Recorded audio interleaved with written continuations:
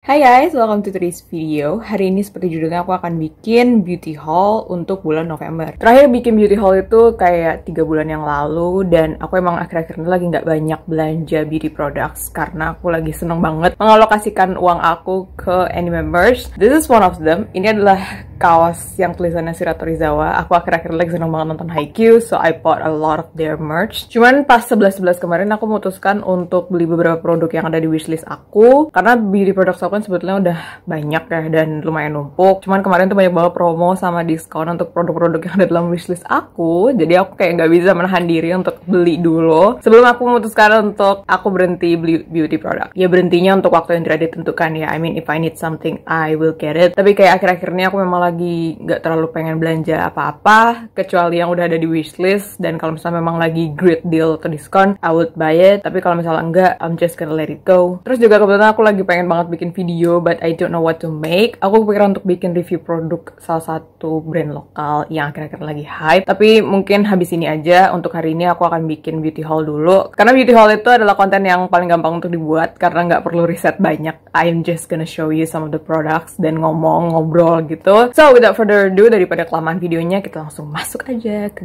haul bulan November. Di sini ada makeup, ada skincare, but the majority of the products are makeup karena skincare aku jauh lebih banyak stoknya dibandingkan makeup aku. Aku bakal sebutin produknya in a particular order dan aku juga akan taruh link di mana aku beli produknya in case kalian mau beli juga di description box. So make sure to always check my description box. Oke, okay, produk pertama untuk beauty haul November adalah salah satu produk yang hype-nya udah kayaknya beberapa bulan yang lalu aku telat masuknya. Ini adalah bedak padat dari Lux Crime This is Lux Crime Blur and Cover 2-Way Cake. Ini aku yang shade-nya Opera. Kalau nggak salah ini tuh cuman ada tiga shade dan ini shade paling gelapnya. The packaging is so cute. Kayak ini tuh pas gitu. And then you take it out. Packagingnya tuh kayak gini.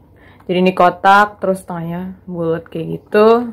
The shade name ada di belakangnya. Ini aku udah coba, tapi aku belum coba yang bener-bener untuk ngetes, untuk lihat dia performanya kayak gimana. Belum dites untuk wear test juga. Jadi kayaknya aku belum bisa kasih apa-apa. Even my first impression is probably not proper enough untuk jadi first impression karena aku nggak make yang bener gitu loh. Aku cuman kayak pakai aja di muka tanpa skin prep gitu. Jadi kayak I'm not gonna share my first impression for now. Ini waktu itu nggak diskon sebetulnya, harganya 129.000 ada di Shopee. Aku belinya di Shopee waktu itu aku cari di Sociala nggak ada. Ada tapi shade yang aku mau tuh habis, jadi kayak I can't buy it. Shade-nya kayak gini warnanya.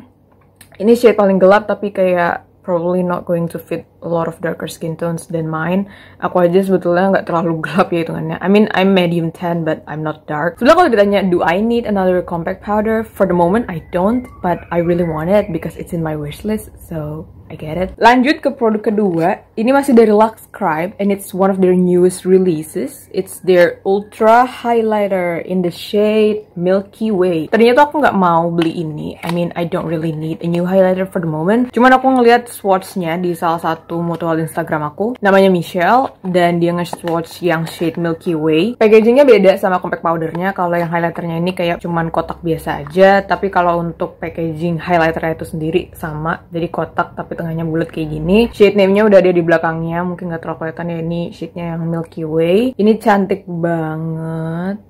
Oh my god, aku udah swatch kelihatan kan. Ini udah pernah aku pakai, udah pernah aku swatch juga, and it's really really beautiful. Even on darker skins, ini nggak kelihatan kayak white streaks yang aneh gitu. Ini kayak lebih ke cuman shimmery yang reflect cahaya aja. Karena aku nggak terlalu suka sama highlighter yang bikin kelihatan itu highlighter gitu loh. I want it to look like my skin is glowing. Dan bagusnya ini tuh nggak emphasize skin texture. Jadi highlighter ini termasuk yang halus banget. The next thing in my beauty haul adalah ini nggak ada tempatnya. Sorry tempatnya udah aku buang karena udah rusak gitu. Aku bukanya nggak terlalu sabaran. ini adalah Elf Poreless Putty Primer. Ini aku juga beli gara-gara keracun salah satu mutual aku di Instagram. Sebelumnya tuh kan nggak pernah pakai primer kalau makeupan. Cuman aku pakai moisturizer yang bisa dijadikan sebagai primer. But this time I decided to get myself a primer, a decent primer yang memang tugasnya itu sebagai primer makeup. Dan ini kata Nadia, mutual aku di Instagram itu dupe dari Tatcha Silk Canvas kalau nggak salah namanya. I have always wanted to try Touch Primer dan harganya itu di luar budget banget. Tapi kalau yang ELF ini masih masuk, ini harganya 150 ribuan kalau nggak salah. Ini bentukannya tuh cream dan dia tuh nggak silikoni gitu loh. As you can see aku udah pakai juga and today I'm wearing it. Ini nggak silikoni rasanya, dia nggak kayak primernya Maybelline yang biru itu tau kan. Ini rasanya tuh kayak pakai moisturizer biasa. That's why I love it. Terus juga aku udah sempet wear test juga beberapa waktu lalu dan ini tuh bener-bener bikin kulit kita tuh jadi poreless gitu begitu dipakein makeup itu bener-bener smooth banget kulit. It totally lives up to its name karena namanya adalah poreless primer. It's very funny every time I share beauty haul aku kayak udah pakai semua barangnya terus malah jadi nge-share first impression aku. Karena aku tuh jarang banget bisa keep produk untuk nggak dibuka. Jadi kayak kalau untuk beauty haul yang bener-bener wow baru dibuka saat itu juga I can't do that. Karena aku orangnya selalu senang buka paketan. Berikutnya ini ada skincare dari brand lokal yang udah lama aku pengen coba juga. Dan ini ada cerita manisnya tersendiri. Jadi aku beberapa hari sebelum 11-11 itu aku sempat bikin list apa aja yang mau aku beli dan aku sempat nge-tweet salah satunya adalah aku pengen coba Theory of Everything Essence-nya Skin Game. Terus tiba-tiba salah satu followers aku ada yang nge-DM aku aku. Dan dia nawarin untuk ngasih essence skin gamenya ke aku secara cuma-cuma dengan aku cuma bayar ongkir aja. Terus aku bener-bener kayak wow Are you for real? Beneran dan followers aku tuh baik-baik banget. And it looks just like this.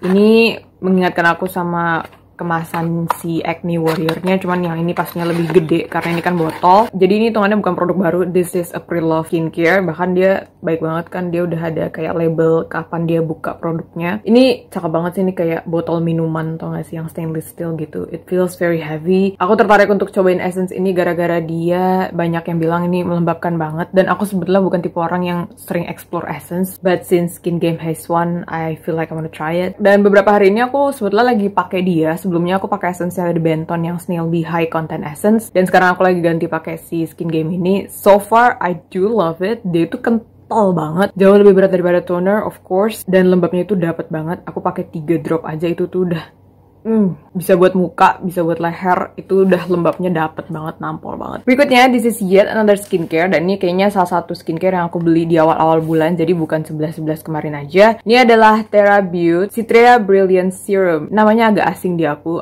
I don't know what Citrea means. Aku udah lama banget masukin ini ke dalam wishlist, terutama si Citrea Brilliant Serum ini. Aku kenal Terra Beauty itu sebenarnya dari iklan Instagram, dan aku lihat profilnya itu menarik. Produknya itu rapi, estetiknya bagus, ada aksen kayunya gitu. I will show you. Kayak bagian tutup botolnya itu ada aksen kayunya. Ini aku belum pakai, jadi aku nggak bisa ngomong first impression aku kayak gimana. But I have a high expectation on this karena aku ngeliat dari ingredients listnya ini menarik. Jadi ini ada ethyl ascorbic acidnya, which is a type of vitamin C. Kemudian ada peptide, ada kolagen untuk mencerahkan dan bantu mengatasi garis halus dan kerutan pada kulit, which is what I'm all about. Karena aku udah hampir seperempat abad, so fine lines and wrinkles are going to be my biggest enemy. Sayangnya tuh review dari Terra Beauty itu sendiri nggak banyak. Jadi aku agak nggak tahu juga ini nanti gimana. I'm swimming on uncharted waters. Jadi aku benar-benar berharap nanti begitu aku cobain produknya beneran bagus. Aku belum bisa buka sekarang karena aku masih mau ngabisin serumku yang lain dulu sebelum aku buka si Terra Beauty. Produk berikutnya adalah makeup. Ini adalah Emina Bear With Me Mineral Foundation. Ini aku beli gara-gara iseng aja sebetulnya. Aku tuh lagi kayak pengen belanja, tapi aku nggak tahu mau belanja apa. Aku kepikiran untuk bikin battle antara si Emina Bear With Me ini sama Pixie Foundation serumnya itu. Gara-gara kan mereka keluarnya barengan terus kayak orang-orang banyak banget yang bandingin. And I do have the Pixie one. Makanya kemudian aku beli si Emina ini karena harganya juga jadi murah banget. Ini kayak cuma 30 ribuan kalau nggak salah. Bentukannya kayak gini ini kotak gitu. Aku lupa ini total shade-nya ada berapa tapi aku shade yang 03 caramel aku udah coba